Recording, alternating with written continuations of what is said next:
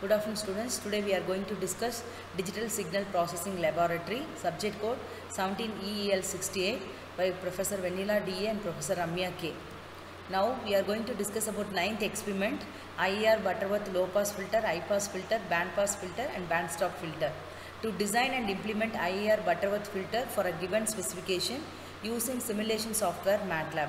Butterworth filter is a type of signal processing filter designed to have a frequency response as flat as possible in the pass band.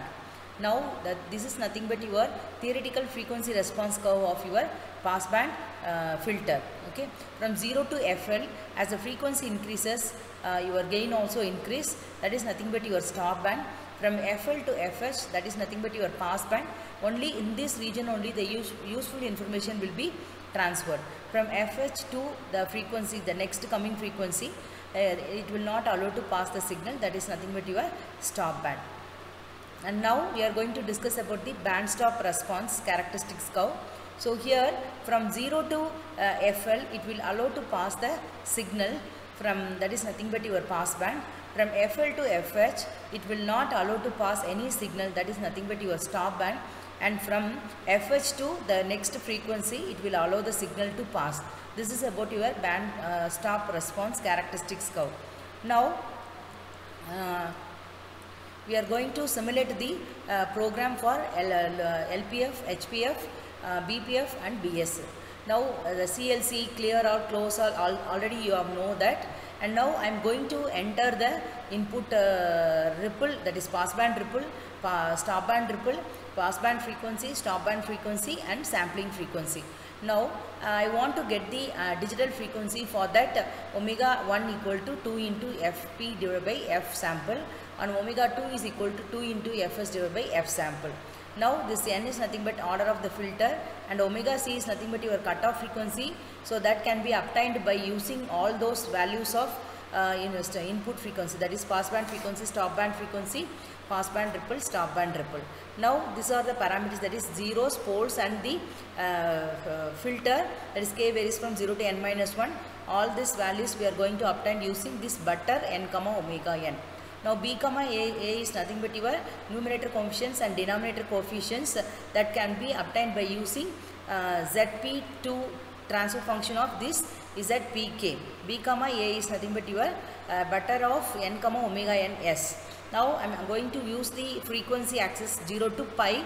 So the having interval of 0 1 and h is nothing but your uh, this h parameter I am going to obtain by using freq z. This z represents the uh, digital representation. So for that we are using this freq z b comma a comma omega that will be passed on to this h comma o. Now uh, I am going to find the magnitude uh, plot. So for that m is equal to 20 log base uh, abs h and for angle it is an h and subplot will be 2 comma 1 comma 1 okay so i'm going to plot the magnitude response and phase response so next uh, i'm going to run this program. While running this program so you need to give the uh, inputs like uh, rp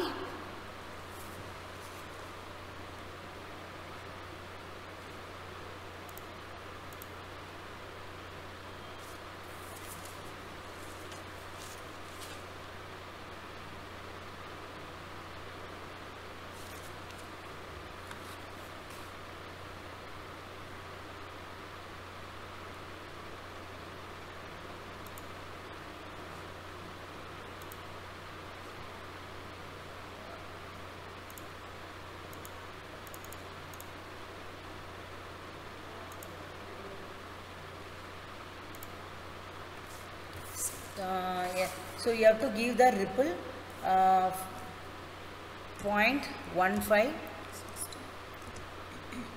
60 1500 and the next one is pass band stop band frequencies 3000 and then I'm going to give the sampling frequency 7000 okay? So now you will get the uh, low pass filter characteristics curve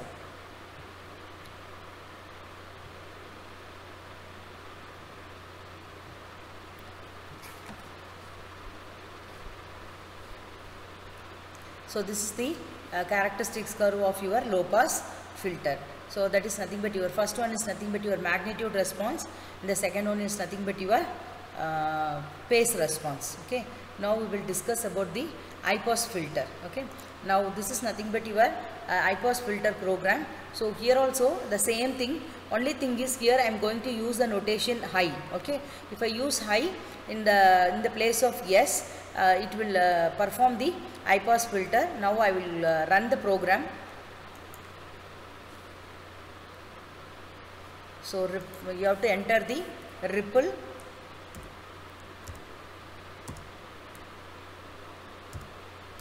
the next one stop band ripple. Next one stop, pass band frequency. The next one is uh, sampling frequency. Now this is nothing but your high pass filter uh, magnitude response and the second one is phase response. Okay. now I will show the uh, band pass filter frequency response so same thing here also.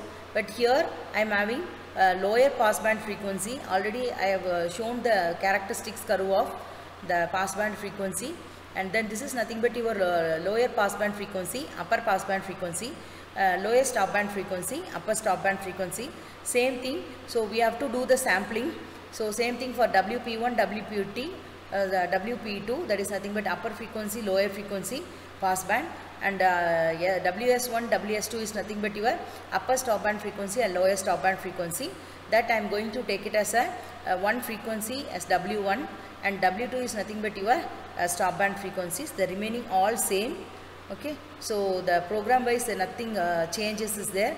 So here in butter n comma omega n there no need to give anything so just for high pass and low pass for low pass you have to give s and for high pass you, you have to mention uh, h high that's all that is the only difference.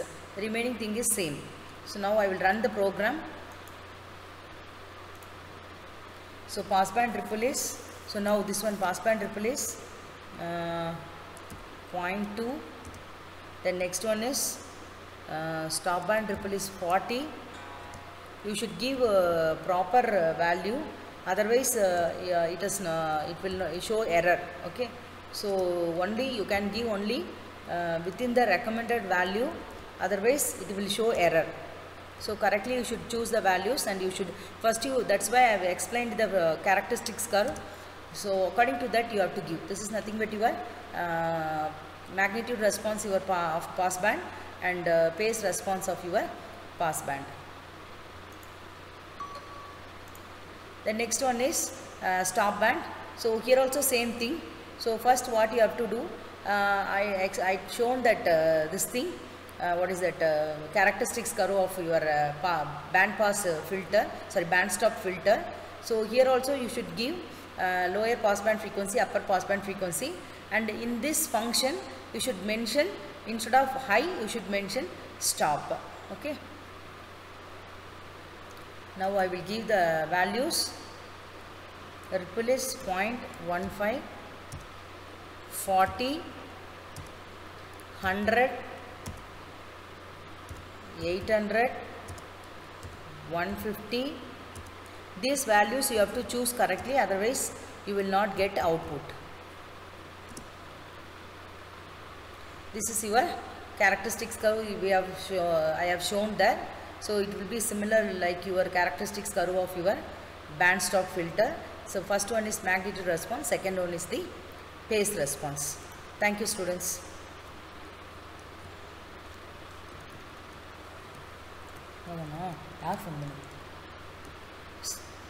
So the result is thus the program is written and simulated according to the design specification for IIR Butterworth filter and the frequency response curve is verified okay thank you students